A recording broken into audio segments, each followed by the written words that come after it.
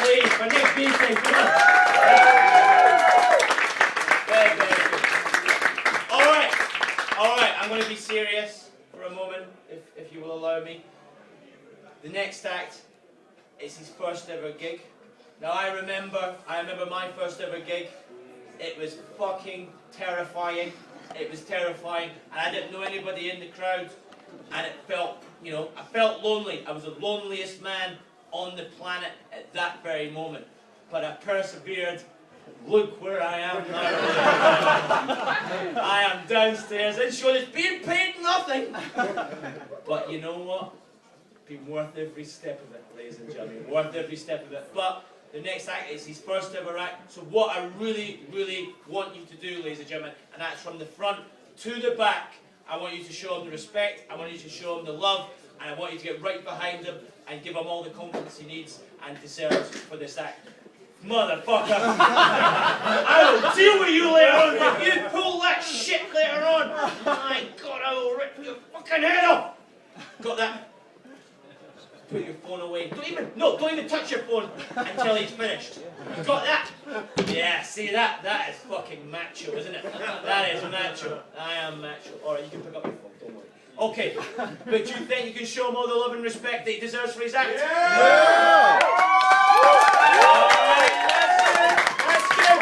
Now what are you bringing up for? Stamp your feet! Stamp your feet! Stamp your feet! Go, Donkey!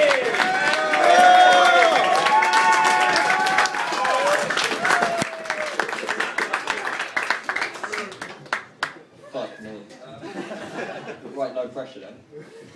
I was in um, I was in Northern And fuck me, that country is fucked up. Seriously, like I'm I'm in this Hilton hotel where I'm staying now, right? You know, and a few nights just getting laid, getting fucking wasted, kind of thing. And I'm thinking, right, I need a night off on this. I've been doing it for five years, just getting completely wasted every night. So I'm just gonna go back to the hotel room, maybe read a book, you know, smoke a couple of cigarettes. Fair enough. I'm reading that Allen Carr book, you know, about how to quit smoking, literally on the contents page, and I'm just like, fuck this, I'm going out. Um, so I call up a mate who I haven't seen in a while, you know, went to uni with him, and uh, he's like, yeah, yeah, yeah, all right, I'll call you back, man, I'll call you back. So calls me back about five minutes later, says, right, go to a place, this little bar, it's called South Omar, right, that's the place. I'm like, okay, I'm staying about this. Don't really know where the fuck I am. Um, look it up, get a train, it's an hour and 20 minutes, I think, right, it must be good for me. Get to this fucking bar, right, and um, look around, no one's there, and I go to the toilet for a quick piss, as you do, and on the wall, right, it says like, fuck English people. Think, hmm. this is going to be interesting. So I get to the bar, order a beer, I thought, I'm in Ireland, I'll get a Guinness, you know, as you do the guy fucking looks at me like I'm just. It's like being in a fucking western where you know you walk through the doors and everyone just goes fucking quiet and it's just like. You're not from around here, are you? No. Uh, no, from London. It's like, what are you doing? Um, well, I'm here to get wasted, you know, maybe meet some nice Irish girls and uh, see what they have to offer. These group of guys walk behind me and they're like, why are you here? I said, well, I just told your barkeep, you know, so it's not that hard. Like, you need to get the fuck out. Like, you're English, we don't like you fucking people. Like, after what you did to our country. It's like, mate, it wasn't me, you know, I didn't fucking do that, you know, that was my answer. Um, and literally, I'm thinking like, right, this is a bad move, I should probably leave. You know in those cartoons where they have those kind of like smoke bombs, they throw them down on the ground? I have a pint of Guinness in my hand. Not even thinking about this properly. Right? Throw it on the ground. it smashes and there is Guinness on his fucking trousers. I don't know if you ever tried getting Guinness out of anything, but it's not fucking easy, especially you're wearing white trainers. Um, so I do that, stand in there, being like, where the fuck is this smoke thing that's making happen? Know? Not there. I fucking leg it down the road, right? I'm just hearing, come back here, you English cunt, and all this stuff. Right? Running, find a graveyard, I fucking hide in there behind a fucking headstone. I'm like, fuck! I'm gonna call my mate up, like, dude, that fucking bar you told me to go to, like, hey, you fucking went, you fucking idiot. what? Fuck, alright, cool. Wanna light a cigarette because I'm so fucking nervous and scared. Like, what the fuck am I doing? It'll be an hour and 20 minutes on train here. I like, you need to fucking order me a cab while I'm having a smoke. Trying to make sure the smoke doesn't go above the headstone, you know, so I'm trying to wave it back down. It's just like, fucking hell. So I get in another cab, it cost me 75 quid to get back to Belfast. Yeah, not the nicest fucking thing. Um, you're from California, aren't you? Right? I've been to LA. What the fuck is up with that fucking place? Seriously. Every single fucking barmaid thinks they're an actress or they're going to be the next fucking big thing. Do they not realise that maybe 0.1% of them is going to make it? I was in a, a bar with my mate Mike over there. How you doing? Um, it was when Amy Winehouse died, right, that day, right? I'm not, oh, oh hello, You're not fan or not happy about it? Oh, okay. not related. Alright, I'll keep going. Um, yeah, so we were there and uh, she was like, oh yeah, so you're English, you know, you, uh, Naomi Winehouse, like, fuck me, it's like the worst thing in the world. I'm like, well, she deserved what she got, you know, that's what you do when you do drugs. I'm like, what? Uh, yeah, well, you know, you do those fucking drugs, yeah, that's what you get. And um, she calls her manager over, get fucking barred for saying that. It's fucking ridiculous. Um, and then walk into another bar, right? And the amount of fucking people in LA, they're like, do you know the Queen? I'm like, no, I don't. But I'm kind of having a few beers, I'm starting to get a bit sarcastic. I'm like, yeah, I fucking know the Queen. But if anyone goes to LA, best way to get laid, say you know the Queen. Honestly, yeah, actually.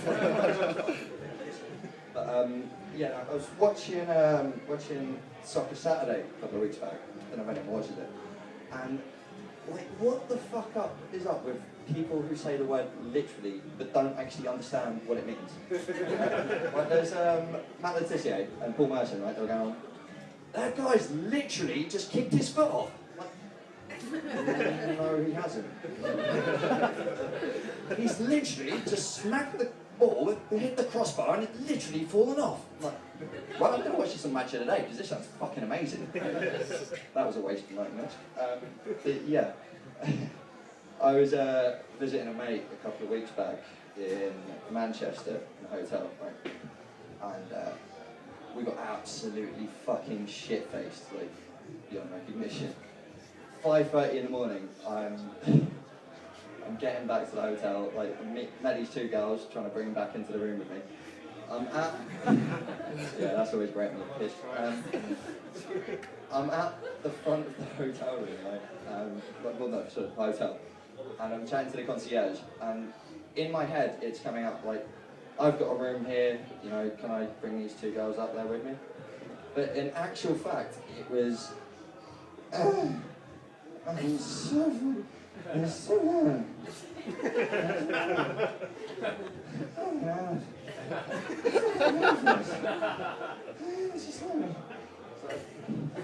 this woman, I was like, huh? Like, rightly so, you know, because I'm just fucked.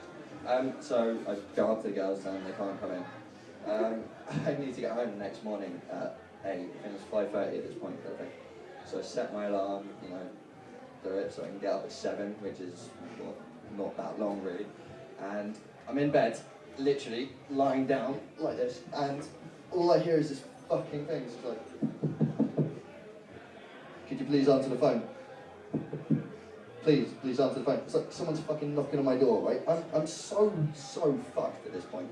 I don't even know what my fucking name is.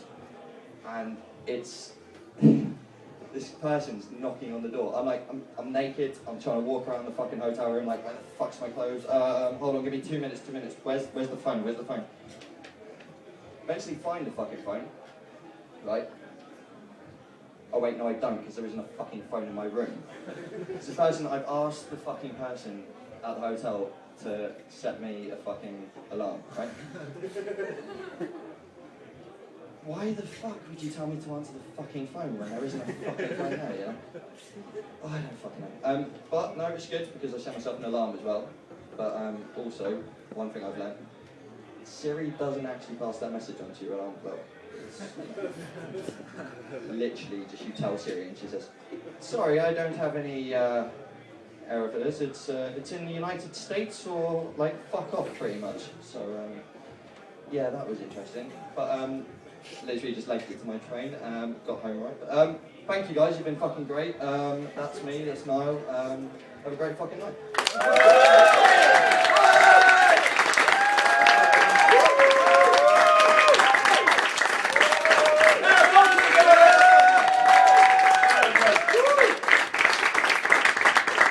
You know, and I thought I swore. Gosh! we give her another round of applause, please. Alright, ladies and gentlemen, we're a strict 10 minute break. Then we've got your brilliant, brilliant headliner. See you.